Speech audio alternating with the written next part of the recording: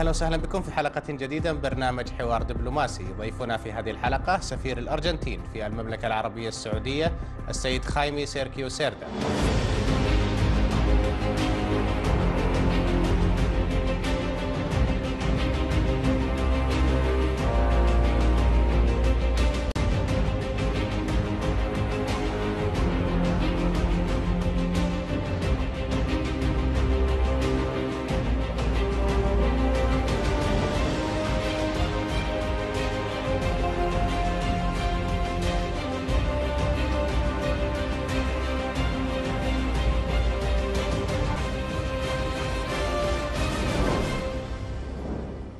أهلا وسهلا بك سعادة السفير. العلاقات السعودية الأرجنتينية قديمة تعود إلى العام آه، 1964. آه، كيف تصف لنا العلاقات اليوم؟ Yes, we are now in 70 years of this. نحن الآن في العقد السابع من العلاقات الثنائية في البداية كانت آه، لأهداف سياسية ودبلوماسية ولكن في السنوات الأخيرة آه، بنينا وطورنا علاقات جيدة على المستوى التجاري ونتطلع لتنمية وتطوير هذه العلاقات. كان هناك العديد من الزيارات بين زعماء ال- البلدين. آه، ربما من أبرزها كارلوس منعم في 1992 وجلالة الملك عبد الله رحمه الله في العام آه، 2000 Yes, uh, uh, uh, important visit. طبعا هذه كانت زيارات هامة. وكما تعلمون فإن الرئيس السابق آه، كارلوس منعم هو من أصل سوري. وهذا ساعد كثيرا على تعريفنا أكثر بالعالم العربي. وهناك مليونين من الأرجنتين من الأصل العربي خلافا لذلك فمن الصحيح أيضا أن تلك الزيارات أعطت فرصة لكي نتحدث عما نقوم به معا. وكما ذكرت فإن زيارة ال- خادم الحرمين الشريفين الراحل الملك عبد الله في عام 2000 كانت في زيارة عمل في بلدنا آه، الزيارة في العام الماضي لنائبة الرئيس آه، جابرييلا ميكيتا كانت آه، نقلة في العلاقات بين السعودية والأرجنتين Yes, uh, last year. نعم العام الماضي في شهر نوفمبر وصلت إلى هنا نائبة الرئيس ضمن وفد من الممثلي الحكومة الأرجنتينية وبينهم أيضا أعضاء من مختلف القطاعات في النقل والتجارة والمستثمرين. فكرة الرئيس الأرجنتيني الجديد هو إزالة كافة الحواجز والعوائق لتنمية العلاقات التجارية والاستثمارية لأن البلدين المملكة والأرجنتين نحن معا أعضاء في مجموعة العشرين. وفكرة الرئيس بإيفاد نائبة الرئيس هي لإظهار أن بإمكاننا أن نقوم بالكثير ليس فقط في التنسيق على مستوى العلاقات في مجموعة العشرين وإنما على المستوى الثنائي. ما هي الملفات التي تنسق آه، السعودية والأرجنتين في آه، مجموعة العشرين حولها؟ Yeah, what we are doing now is trying to. ما نقوم به الآن هو محاولة أن يكون هناك آه، قطاعات أكثر حيث يمكن لنا أن نطور من علاقاتنا نحاول أن نعرف مثلا مجال الطاقة المتجددة بعض التعاون ب- في مجال التعليم ومن ثم أن نتخطى هذه العوائق ونبني أفقا جديدة أبعد من مجرد استيراد النفط من السعودية ما هو مستوى التبادل التجاري بين السعودية والأرجنتين اليوم؟ Yeah, in trade we have uh, 1 billion by year. في التجارة هناك واحد مليار دولار سنويا وعندما ننظر إلى المنتجات فالصادرات من الأرجنتين هي عموما في الخضار في لحوم الطيور في المواد الغذائية وفي بعض ال- المعدات الصحية في القطاع الصحي في المشافي وأيضا بما يتعلق بالأسمدة في القطاع الزراعي. فكرتنا هي في لجنة مشتركة ما بين البلدين تبحث آفاقا أعمق وأبعد من هذا.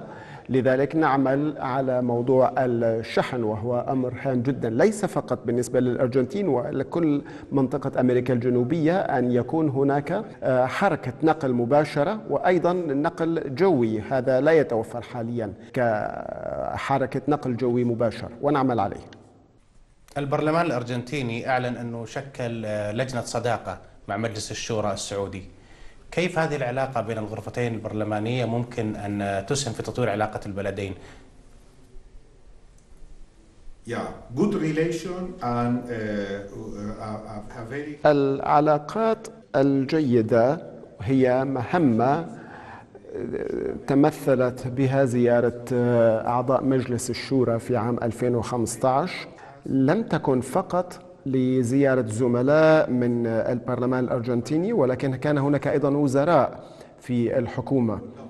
آه، كانت زيارة من ثلاثة أيام ثرية غنية تحمل الكثير من ال- آه، الأفكار وكانت الأجندة تحمل ما كل ما يتعلق بالتعاون الاقتصادي والتجاري.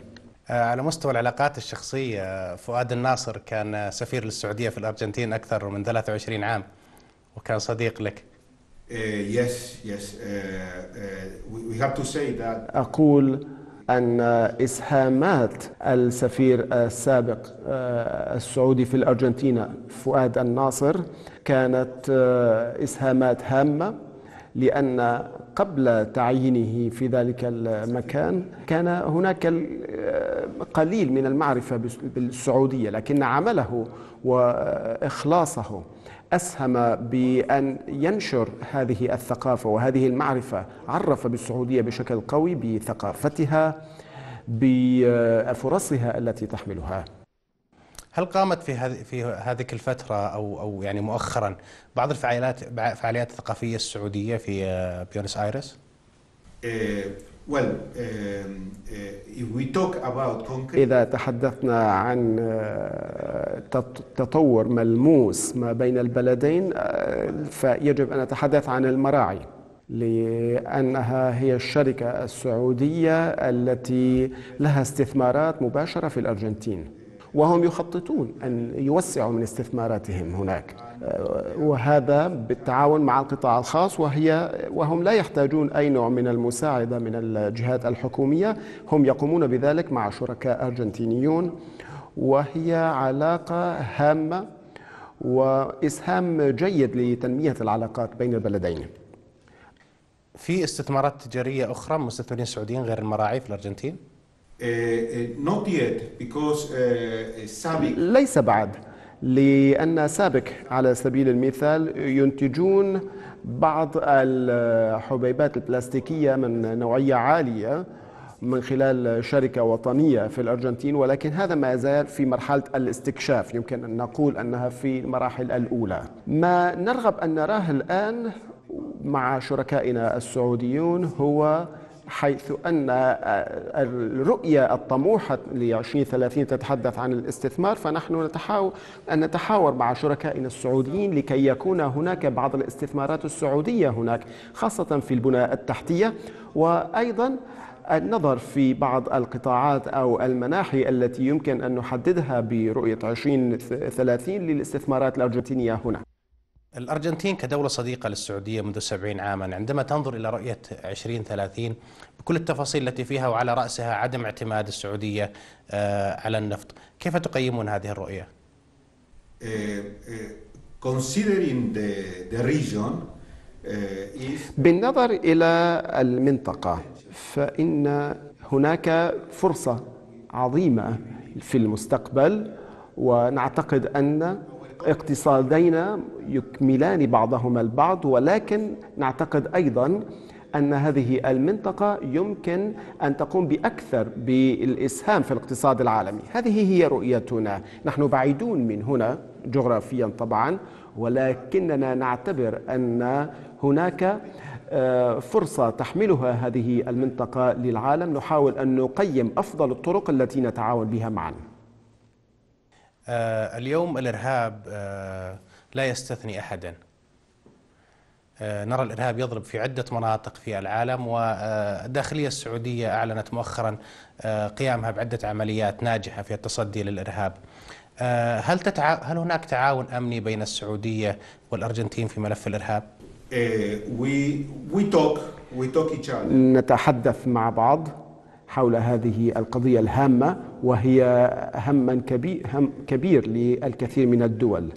نعتقد أن بإمكاننا القيام بالكثير معا ولكننا نعمل ضمن في مركز في الأمم المتحدة المختص بمكافحة الإرهاب والذي تعتبر السعودية من أكبر الممولين له ونحن أعضاء في هذا المجلس أيضا.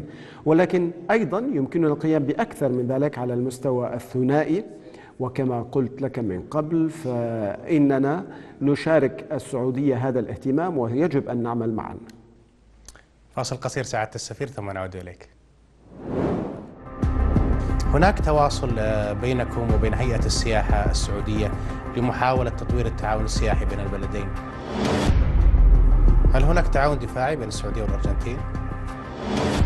كيف تنظرون إلى قرار عمان الانضمام إلى التحالف الإسلامي ضد الإرهاب بقيادة السعودية؟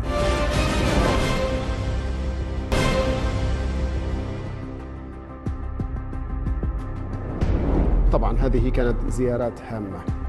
وكما تعلمون فإن الرئيس السابق آه، كارلوس منعم هو من أصل سوري. وهذا ساعد كثيرا على تعريفنا أكثر بالعالم العربي. وهناك مليونين من الأرجنتين من الأصل العربي.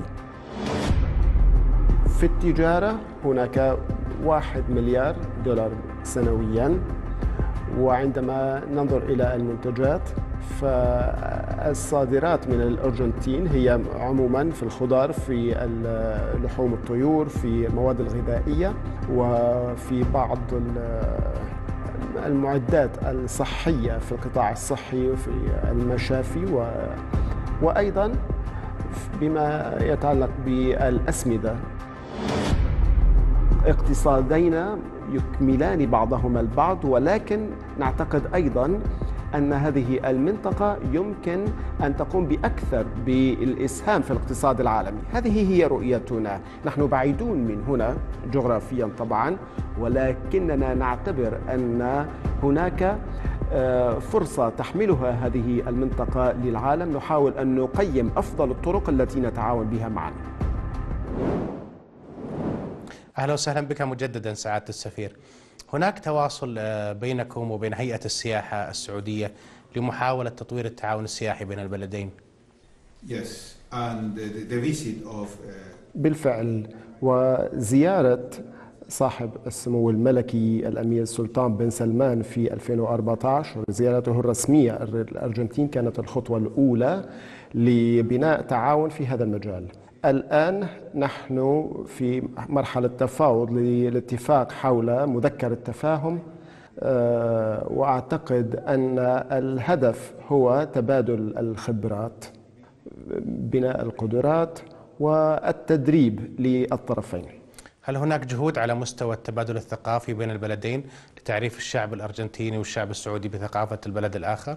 Yes, uh, نعم وهذا جزء من عمل اللجنة المشتركة وأحد هذه البنود هو التبادل الثقافي كان هناك وفد واجتماع سنوي في الرياض في قصر المعارض حول التعليم العالي وكان هناك بعض أعضاء هيئة التدريس من جامعاتنا آه، هناك بعض الباحثين الذين يذهبون إلى بوينوس آيرس إلى المراكز الإسلامية في بوينوس آيرس ونحن نمشي خطوة خطوة للتعرف إلى بعضنا أكثر سعادة السفير في رؤية 2030 ما هي الملفات تعتقد الأرجنتين أن تستطيع أن تسهم فيها لما فيه منفعة البلدين؟ رؤية 2030 هي خبر سعيد لنا لأنها تمنحنا الفرصة لتعزيز التعاون ما بين البلدين في قطاعات جديدة. مثلا فيما يتعلق بإنتاج الطاقة الكهربائية فإننا نعتقد بأن خبرتنا في الاستخدام السلمي للطاقة النووية يمكن أن يكون أحد الخيارات المطروحة. وبشكل خاص في مجال تدريب العناصر البشرية في مستقبل السعودية نعتقد أيضا أن آه، مجال المتجدد أو الصناعات المتجددة فإننا نتشارك مع المملكة وننظر أيضا إلى قطاعات أخرى بما يتعلق بالتعدين أو البنى التحتية هل هناك استثمارات أرجنتينية في السعودية اليوم؟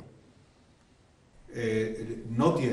ليس بعد ليست لدينا استثمارات هنا حاليا ولكن هناك بعض الوفود التي تستعد لزيارة المملكة لكي تتحدث بشكل مباشر مع آه، أصحاب الأعمال والشركاء السعوديين ونعتقد أن في 2017 قد نصل من خلال هذه الزيارات لتحديد ما هي الإمكانيات للاستثمار هل هناك تعاون دفاعي بين السعودية والأرجنتين؟ Uh, we have our uh, defense attaché. هناك الملحق العسكري في القاهرة وسيزور المملكة وبذلك فإننا سنستكشف الطرق والوسائل التي يمكن لنا بناء هذا التعاون آه، سعادة السفير أنت سفير في أربع دول إحداها السعودية فلا بد أن أسأل عن باقي الدول لعلي أبدأ أولا في البحرين اللي أنت سفير غير مقيم فيها كيف هي علاقة الأرجنتين مع البحرين؟ هي علاقات جيدة مع مملكة البحرين. كنت من الشهر الأخير في زيارة إلى البحرين.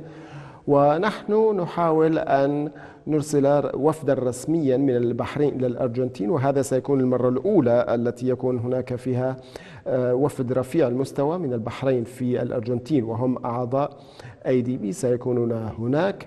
وأيضا ممثلي غرفة التجارة أيضا. نأمل من خلال ذلك أو من هذه الزيارة أن تكون آه، نبني من خلالها علاقات شراكة على المستوى العام والخاص. آه، كيف أيضا تنظر الأرجنتين إلى علاقتها مع سلطنة عمان؟ عمان بلد هام في هذه المنطقة. ونعرف كيف يلتزم العمانيون بمبادئ السلام ويقومون بكل الجهود اللازمة ليضعوا حدا لكل النزاعات في المنطقة. نعتقد أيضا أن هذه سياسة بناءة ودور هام وهو يكون حيوي ومطلوب. ومن وجهة النظر التجارية فإننا نمتاز بعلاقات تجارية المواد الغذائية مثلا نستوردها ونصدرها إلى عمان ونحن ننظر بتطوير هذا في مناطق أخرى كيف تنظرون إلى قرار عمان الانضمام إلى التحالف الإسلامي ضد الإرهاب بقيادة السعودية؟ Well, that's very هذا قرار صائب إيجابي وأقول أنه بناء أعتقد أن هذا القرار قرار هام للمساهمة في الحرب ضد الأعمال الوحشية والإرهابية وهي مشكلة عالمية كبيرة. أعتقد أن هذه مساهمة كبيرة من عمان لدعم هذه الجهود المكا... لمكافحة الإرهاب. آه، خيمي سيركيو آه، سفير أيضا غير مقيم في اليمن. آه، لمدة ست سنوات كيف تنظرون يعني هذه ست سنوات ربما آه، بدأت مع الربيع العربي وسقوط نظام علي عبد الله صالح كيف تنظرون للوضع اليمني اليوم؟ yes. Uh, we we were at the, at the beginning we were uh, في البداية كنا مرتاحون للمبادرة الخليجية ووجدنا فيها عملية سلمية كحوار وطني آه، يحمل آه، نتائج مرضية على المستوى الوطني. العملية كانت تسير بشكل جيد للإعداد لانتخابات عامة وكتابة آه، دستور وفجأة وللأسف تم قطع هذه العملية من قبل الميليشيات بأعمالهم. ونعتبر هذا عملية غير لا نعتبر أنها عملية فاشلة ولكننا نأمل أن يكون هناك حل سياسي يتم التوصل إليه لإيقاف العمليات العسكرية وتطبيق القرار 2216 لمجلس التع... الأمن حيث يحمل خريطة طريق لحل سياسي في اليمن.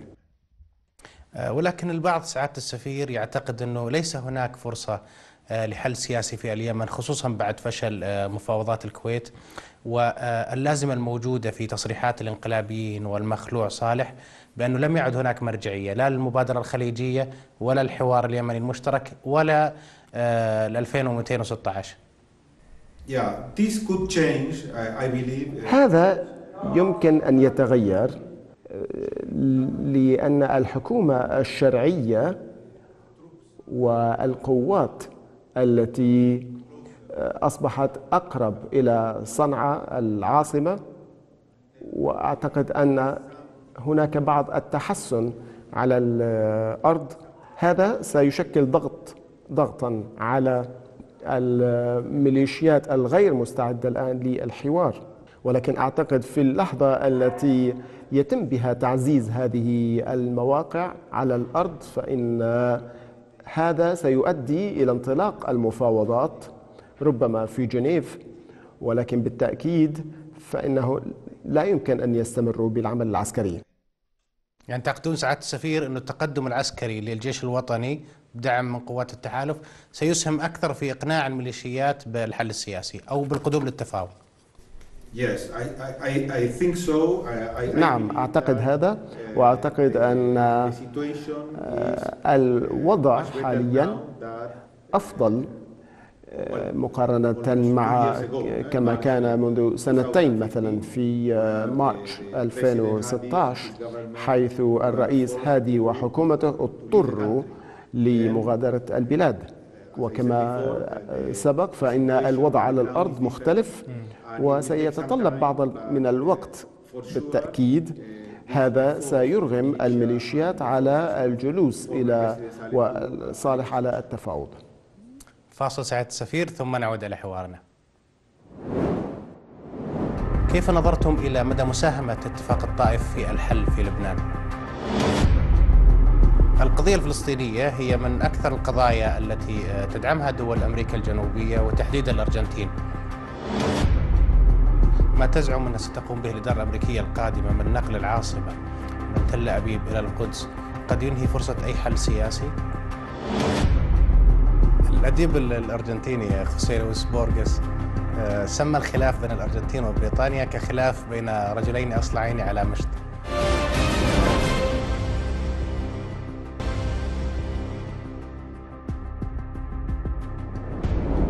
عمان بلد هام في هذه المنطقة. ونعرف كيف يلتزم العمانيون بمبادئ السلام ويقومون بكل الجهود اللازمة ليضعوا حدا لكل النزاعات في المنطقة. لكننا نأمل أن يكون هناك حل سياسي يتم التوصل إليه لإيقاف العمليات العسكرية وتطبيق القرار 2216 لمجلس التع... الأمن حيث يحمل خريطة طريق لحل سياسي في اليمن.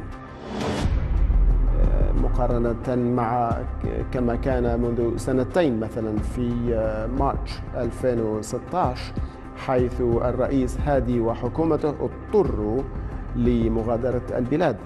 وكما سبق فإن الوضع على الأرض مختلف وسيتطلب بعض من الوقت بالتأكيد. هذا سيرغم الميليشيات على الجلوس إلى وصالح على التفاوض. سعادة السفير خايمي سيركيو سيردا. عملتم قنصل في لبنان من العام 90 إلى العام 96 مباشرة بعد إنجاز اتفاق الطائف. كيف نظرتم إلى مدى مساهمة اتفاق الطائف في الحل في لبنان؟ Uh,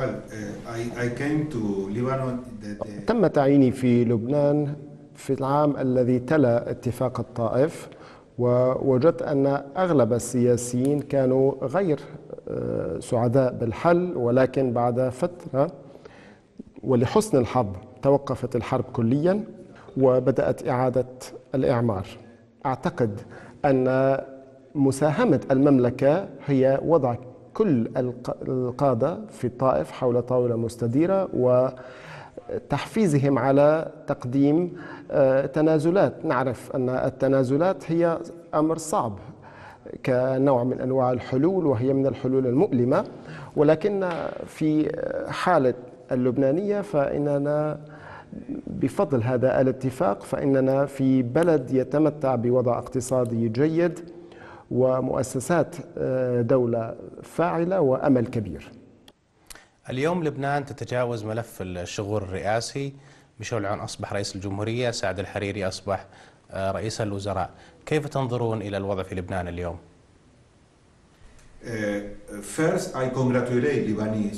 أولا أهنئ الشعب اللبناني لأن بعد شهور طويلة تمكنوا من حل هذه المشكلة ولديهم الآن اثنان من القادة الكبار. الجنرال ميشيل عون هو سياسي أسهم بشكل كبير في خدمة البلد وسعد الحريري أيضا كرئيس للحكومة. نحن نتحدث طبعا عن شخص يتمتع بخبرة واسعة في هذا الموقع. وأنا على ثقة أنهم أو أنهما معا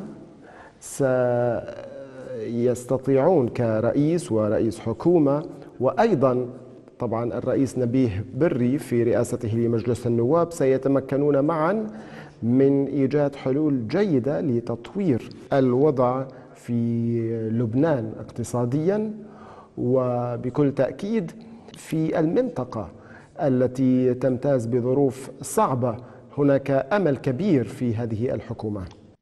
أنت التقيت فخامة الرئيس العماد ميشيل عون عندما كان رئيسا للوزراء.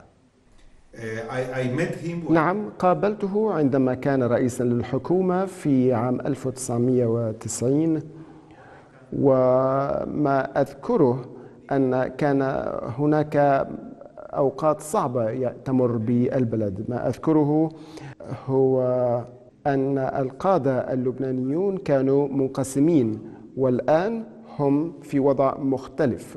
وجدوا حلا مشتركا لهم جميعا. ولذلك أقول أننا ينبغي أن نهنئهم على نجاحهم بالتوصل إلى هذا الاتفاق بعد شهور. سوريا التي تعيش كارثة منذ ست سنوات. دولة مهمة للارجنتين، هناك العديد من السوريين في الأرجنتين ومنهم أيضا رئيس سابق، كيف تنظر الأرجنتين اليوم إلى الأزمة السورية؟ إنها مأساة بكل تأكيد. منذ اللحظات الأولى كانت الأرجنتين على استعداد لتقديم المساعدات الإنسانية. وكما قلت فإن هناك جالية كبيرة من الأصول السورية في بلدنا. ولهذا فإننا نشعر بالحزن العميق لما يحصل في ذلك البلد. نحن نأمل أن تحمل سنة 2017 لحظة الاتفاق لحل ما. وكما ذكرت فإن رئيسنا والمجلس العموم اقترحوا فتح بلدنا على الأقل لاستقبال ثلاثة ألاف أسرة أو عائلة سورية إذا كانت لديها الرغبة بالهجرة إلى بلدنا. هذا جزء من مساهمتنا من وجهة النظر الإنسانية ولكن سنكون أكثر سعادة إذا تم التوصل إلى حل سياسي. اليوم هل تتوقعون أن مؤتمر إستانا يسهم في في حل سياسي في سوريا؟ اللي ادعت له روسيا؟ What we believe is ما نعتقده هو أن إيقاف الحرب وإيقاف الأعمال العسكرية سيكون بحد ذاته خطوة هامة أولى. نعتقد أن الظروف الرئيسية ينبغي أن تبدأ بهذا الشكل. ومن ثم يمكن للطرفين أن يقبلوا بإجراء بعض التنازلات المؤلمة. رأينا هذا يحصل في نزاعات مسلحة أخرى حيث كانت هذه النتائج. ينبغي أن تتوقف الحروب والأعمال العسكرية وثم تكون هناك فرصة للتوصل لحل سياسي. يعني أنتم متفائلون بوقف إطلاق النار الذي وافق عليه أغلب الأطراف على الأرض؟ Yes, that's good news. نعم هذه أخبار طيبة بكل تأكيد وهذا تمت الموافقة عليه وتعزيزه من قبل مجلس الأمن الدولي الاتجاه صحيح ولذلك نعتقد أن هذا آه، شرط أساسي لكي يكون هناك فرصة لنوع من الحل القضية الفلسطينية هي من أكثر القضايا التي آه، تدعمها دول أمريكا الجنوبية وتحديدا الأرجنتين yes, and uh, most of the Latin American countries. بكل تأكيد وأغلب الدول في الدول أمريكا اللاتينية ندعم هذا الحل. نعترفنا بهذه الدولة الفلسطينية الجديدة ونعتقد أن الحل النهائي سيكون هو حل الدولتين. لذلك نحن نأمل أن أن يكون المؤتمر في باريس بعد عدة أيام ربما يكون هو آه، خطوة جديدة على هذا المنوال.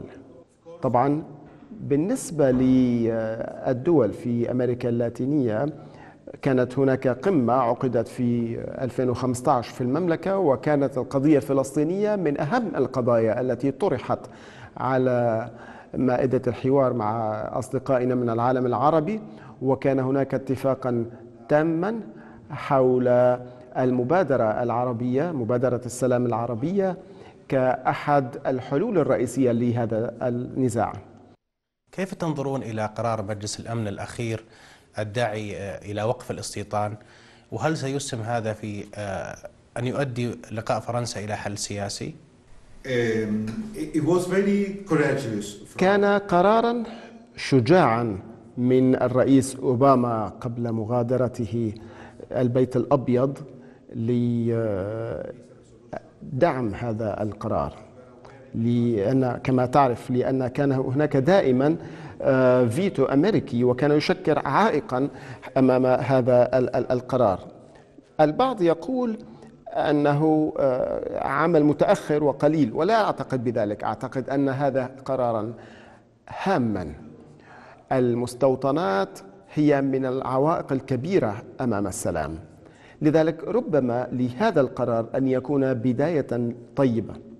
هل تعتقد أنه آه، ما تزعم أنها ستقوم به الإدارة الأمريكية القادمة من نقل العاصمة من تل أبيب إلى القدس قد ينهي فرصة أي حل سياسي؟ ما أذكره في الماضي أن م- مشاريع مشابهة لنقل العاصمة قد فشلت. أعتقد أن ربما كانت هذه قضية صعبة على في في في حملة سياسية. ينبغي أن ننتظر قليلا لكي نرى كيف ستتصرف الإدارة الأمريكية الجديدة. وأنا على ثقة أنها طبعا الحملة الانتخابية كانت صعبة ولكن هناك الآن صفحة جديدة بدأت في الحياة السياسية في ذلك البلد. لذلك نأمل آه، نأمل أن يكون هناك آه، اتفاقا ما لأنه ينبغي أن نتوقف في في لحظة ما ينبغي أن يتوقف معاناة الشعب الفلسطيني.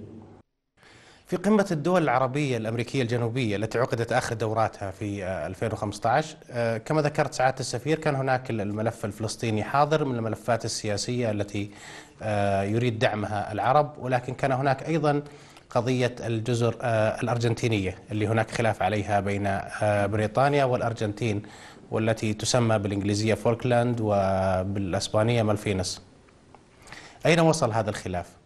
Well, uh, it's a pending issue uh, between the, the two countries, uh, Argentina and US. هذه قضية معلقة ما بين البلدين الأرجنتين والمملكة المتحدة من طبعا معروف أنه بدستورنا الوطني وبشكل إلزامي ينبغي أن نحرر هذا الجزء من أراضينا من الاحتلال الأجنبي عندما تولى رئيسنا الجديد مهامه في 2015 وبعد بضعة أسابيع التقى برئيس الحكومة البريطاني السابق ديفيد كاميرون وفي مجلس العموم الأمم المتحدة التقى برئيسة الحكومة البريطانية تيريزا ماي. موقفنا طبعا هو محاولة أن استعادة هذه الأراضي وأن نحررها من أي احتلال أجنبي. ولكننا نفهم أيضا أنه هناك كثير مما يمكننا القيام به مع المملكة المتحدة ونحن على ثقة أن إننا إذا عزلنا هذه القضية المعلقة إيه، لوقت ما فربما تكون هناك فرص أكثر لحلول سلمية بين البلدين. الأديب الأرجنتيني خوسيه لويس بورغس آه، سمى الخلاف بين الأرجنتين وبريطانيا كخلاف بين رجلين أصلعين على مشط. لماذا هذه التسمية؟ خورخي لويس. خورخي لويس كان عبقريا وكان قادرا ليس فقط على كتابة آه، روايات جميلة ومؤثرة ولكنه كان محفزا أيضا ومستفزا بشكل ما ولذلك نحن نفهم كيف كان محبطا من هذه المأساة التي حصلت في عام 1982 وبذلك ترجمها بكلمات آه، يعني وضع في هذه الكلمات ما كان يدور بذهن الأرجنتينيين الكثير. ما أقوله هو أن كان هناك صوت عبقري منعزلا لم يرغب أحد آه، في البداية ما كان يهدف إليه ولكننا هذا ما تعودناه من العباقرة. طبعا الناس العاديين يمكن أن يفهموا هذا ويحاولوا أن آه، يفهموا أفكاره.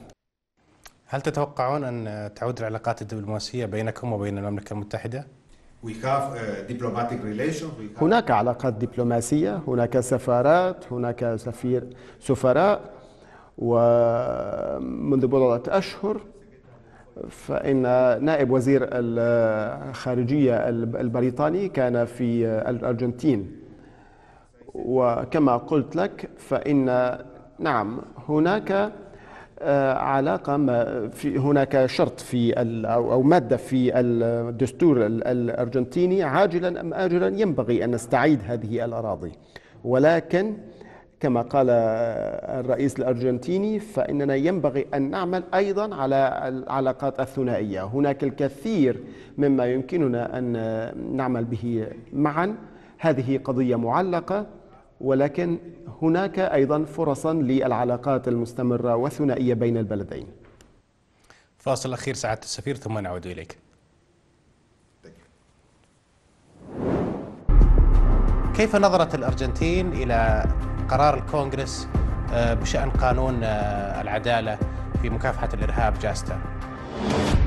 لا ترى أن هناك آه، مخاطرة من أنه يكون هناك أي قانون محلي أعلى درجة من القانون الدولي؟ أسطورة الكرة الأرجنتينية مارادونا أم ميسي؟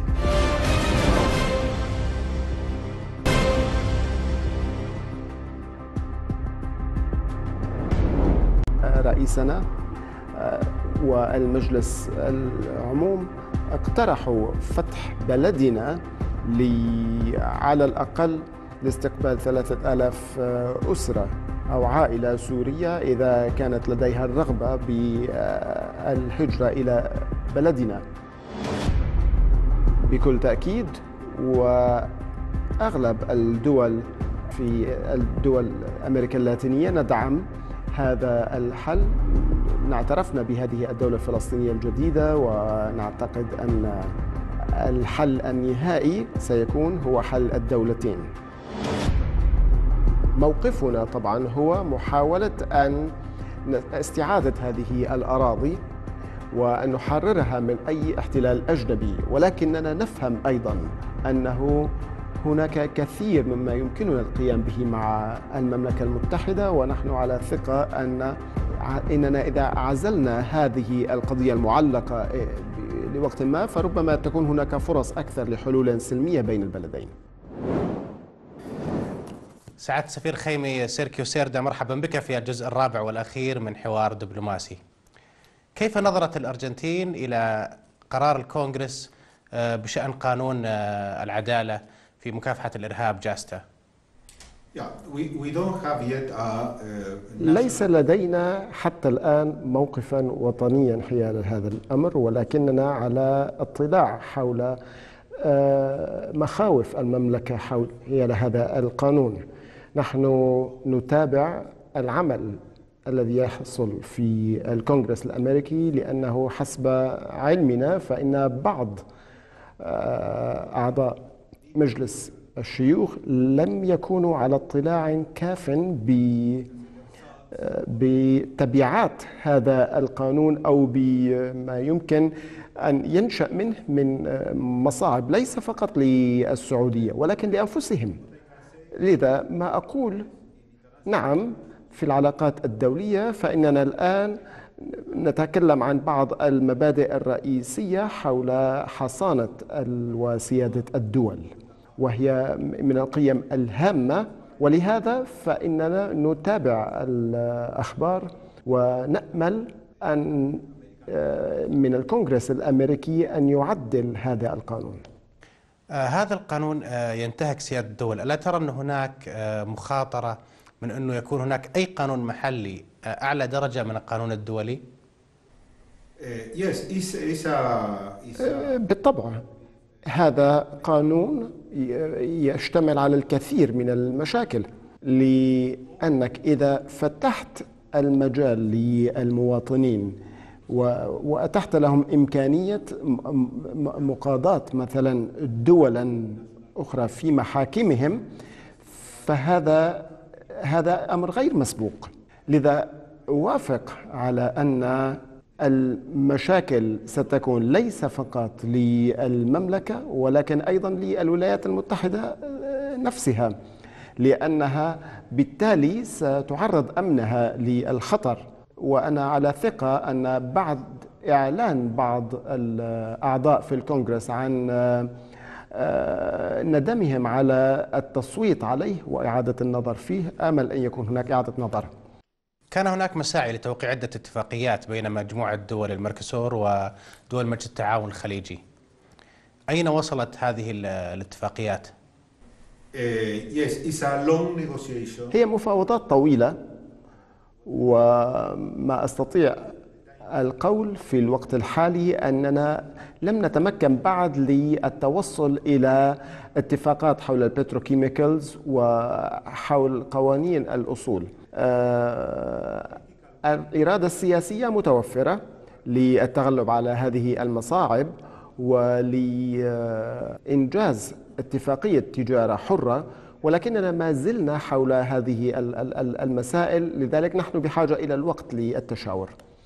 يعني تعتقد أنه سيكون هناك اتفاقية تجارة حرة يستثنى منها البتروكيماويات؟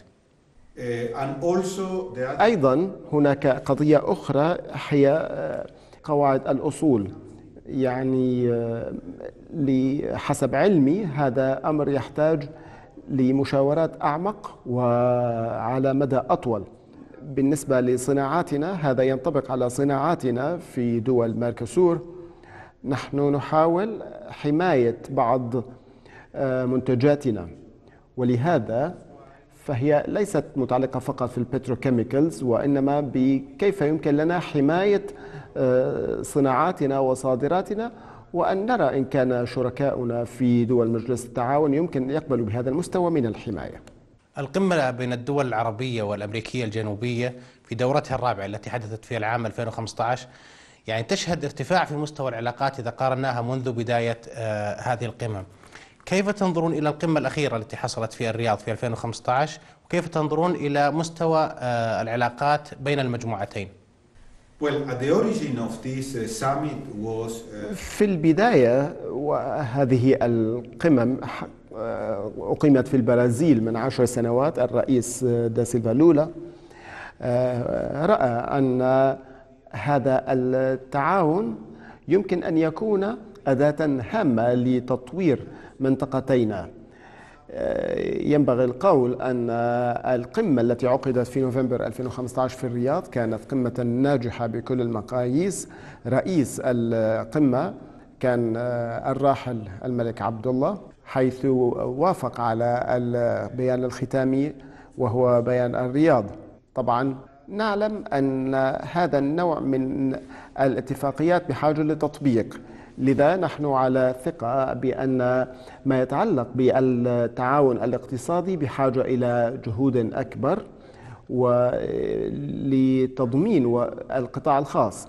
أقول أنه بموازاة هذه القمة وفي غرفة التجارة في الرياض كان هناك اجتماعا كبيرا لمئات رجال الأعمال الذين قدموا من أمريكا الجنوبية بحث فرص التعاون ووجدنا أن القضية الأهم هي قضية النقل والشحن لتطوير العمل ما بين الطرفين. لذلك نأمل في القمة القادمة أن نكون قد تمكنا من آه، تحقيق نتائج أكثر.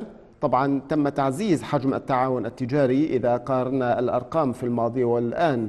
طبعا نحن زدنا من هذه الأرقام ولكننا نعرف أنها ليست بالمستوى الطموح وينبغي القيام بما هو أكثر من ذلك، لذلك فإننا نحضر لاجتماعات على المستوى التكنوقراط لإزالة هذه العقبات بالتعاون.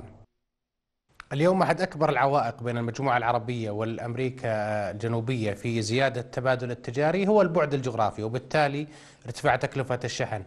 ما هي خطة آه، الدول لتجاوز آه، هذه المشكلة؟ Yes, uh, the, the discussion in the chamber of... الحوار في غرفة التجارة كان حول هذه النقطة كيف يمكننا التغلب على غياب النقل المباشر ولذلك تحدثنا حول الشحن وحول شركات وطنية لتتولى عملية النقل والشحن ولكن أيضا ينبغي العمل على آه، النقل الجوي حيث هناك قليل جدا من الشركات التي تقوم بعملية النقل الجوي ما بين المنطقتين. هناك عمل ينبغي القيام به وهذا بالشراكة مع القطاع الخاص. قبل أن نختم معك سعادة السفير آه، ست سنوات في المملكة العربية السعودية. ما هي أبرز المناطق التي آه، زرتها والأشياء التي لفتت نظرك؟ Beautiful places. أماكن جميلة. وأنا ممتن لحسن الضيافة السعودي ولوزير الخارجية لتنظيم زيارات لنا في السلك الدبلوماسي لزيارة جزيرة فرسان مدائن صالح في العلا الطائف جامعة كاوست في جدة وأيضا في المنطقة الشرقية في الربع الخالي في منشآت أرامكو أيضا والمدينة الصناعية في الجبيل وينبع وأقول نعم المملكة ليست فقط الرياض. كنا محظوظين بالتنقل في تلك المناطق في المملكة والاطلاع عن قرب على الفلكلور السعودي الموسيقى التقليدية والتراثية السعودية. أسعدنا جدا هذه الفرصة للتعرف على المملكة عن قرب. آه، أنت مهتم بالشأن الرياضي وفي أحد اللقاءات التي قامت بها أحد القنوات ربما أشرت إلى ميولك الرياضية من الأندية السعودية. هل هذه المعلومة صحيحة؟ Uh. نعم نحن نشارك الأرجنتينيون السعوديون نهتم ولنا شغف بكرة القدم وهذا صحيح أيضا. كنا محظوظون أن يكون أن, أن, أن يأتي منتخبنا الوطني مع ميسي في 2012 وأقول أيضا أن معظم الشباب كانوا يرتدون آه، لباسنا الوطني لكرة القدم. وكانت هذه لفتة جميلة جدا. وأيضا أقول أن السعوديون قد قد تطوروا كثيرا في لعبة كرة القدم. تلعبون كرة القدم باحترافية وبشكل جميل وما تحتاجون هو تحقيق نتائج أفضل. من الجميل أن أن يكون اللعب جميل ولكن السعوديون الآن بحاجة إلى إلى نتائج أكبر وأهم. وهذا سيشجع الآخرين أيضا على الاستمرار في التمرين ولكنكم تقومون بعمل جيد جدا هل تتابع الدوري المحلي السعودي؟ uh, well, uh. في uh, الدوري أتابع الهلال لأن المدرب أرجنتيني رامون دياز وهو مدرب بارز في الأندية الأرجنتينية ولكن أيضا في المنتخبات الوطنية في أمريكا الجنوبية. أنا الآن أحاول أن أرى إن كان آه، الأسلوب الذي يعمل به المشهور به رامون دياز. لدينا آه، لديه أسلوب هجومي كبير في المنافسة وكان الرقم عشرة في المنتخب الوطني وهو رجل يرغب بحق أن يحقق أفضل النتائج. لذلك أتمنى الأفضل لنادي الهلال. وطبعا هي من من دواعي سروري أن أتابع الدوري السعودي. ليس فقط المنتخب الوطني وأيضا الدوري السعودي. السؤال الأخير. أسطورة الكرة الأرجنتينية مارادونا أم ميسي؟ Difficult. هذا سؤال صعب. أن أطلق حكما بهذا الشكل وأقول أن هذا صحيح بالنسبة لمارادونا. حصلنا على كأس العالم في 1986 ولكن نقول أيضا أن كنا في المباراة النهائية في الكأس العالم الأخيرة في 2014 وهذا بفضل ميسي. إذا لم نتمكن من الفوز على ألمانيا حينها ولكننا وصلنا إلى النهائية وبفضل ميسي لذا ينبغي أن نعطي الحق الآن لكأس العالم في روسيا ولنرى إن كان في تلك اللحظة من الذي سيكون ال- الأفضل وسننتظر لنرى. سعادة السفير خايمي سيركيو سيردا شكرا على هذا اللقاء وإذا كان لك من كلمة أخيرة Thank you. It was a pleasure. شكرا لكم. كان هذه فرصة طيبة أن استضافتي في هذا الحوار. وأنا مهتم جدا بمتابعة نجاحات المملكة وتطويرها لاقتصادها وتعليمها وكيف uh, تجد حلولا آه، ناجحة للبطالة لأنها نتشارك معهم بهذه الأهداف في بلدنا لذا نفهم بعضنا البعض لأننا نحاول أن نتطور بنفس الطريقة. شكرا لكم. شكرا جزيلا. Gracias.